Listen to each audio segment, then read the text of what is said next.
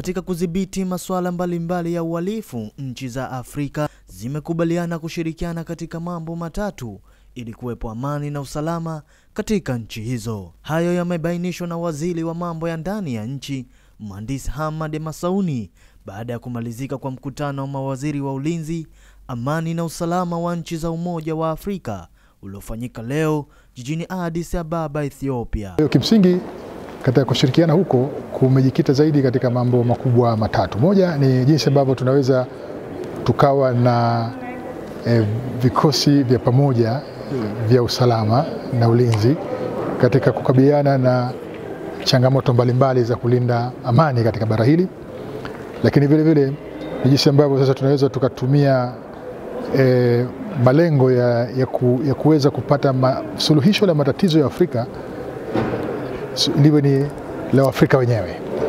Kwa hiyo tumejadiliana juu ya namna ya kuweza kuhuisha mfuko wa fedha wa pamoja ambao utasaidia kuweza kuharamia vikosi hivi vya kulinda amani vinavyokwenda katika nchi mbalimbali kwa ajili ya shughuli hizo.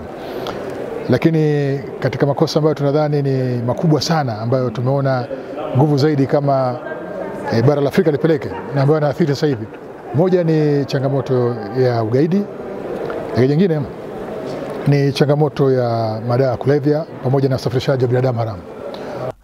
Akizungumzia mikakati iliyowekwa ili kuweza kupambana na ugaidi, waziri wa ulinzi na jeshi la kujenga taifa JKT Dr. Stogomena Tax amesema wamekubaliana kujengwa kwa kituo ili kuweza kupambana na kadhia hiyo. Imekubalika kwamba kianzishwe kituo cha kupambana na ugaidi cha Umoja uh, wa Afrika. Hii itasaidia sana kwa sababu kama unavyofahamu uh, Jumuiya ya Maendeleo Kusini mwa Afrika imeanzisha kituo kama hicho hicho na hicho kituo kiko Tanzania.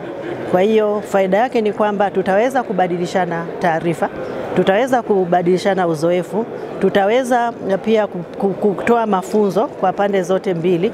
Kwa hiyo hii ina, inaongeza nguvu ya hivi vituo vya kupambana na ugaidi ambao sasa unachukua nguvu um, ya Umoja wa Afrika ambayo pia unashirikiana na jumuiya ya kikanda na Tanzania ambayo iko pale. Kwa hiyo nafikiri hili ni swala la manufaa sana.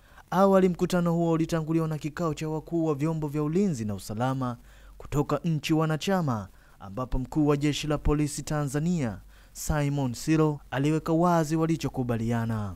Tumezungumzia swala la uhalifu uh, Afrika na hasa yale makosa yanayovuka mipaka, na moja ya makosa ambayo yamejitokeza kwa wingi sana ni ugaidi.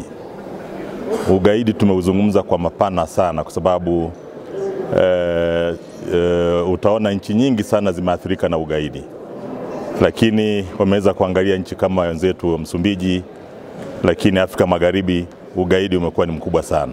Kwa swala ambalo limesisitizwa katika hili ni swala la kubadilishana taarifa, ni swala la msingi sana kwamba huwezi ukapambana na ugaidi bila kubadilishana taarifa, kwa sababu gaidi anaweza ni makosa ambayo leo wanafanya hapa, kesho wanaondoka na kwenda kufanya nchi nyingine.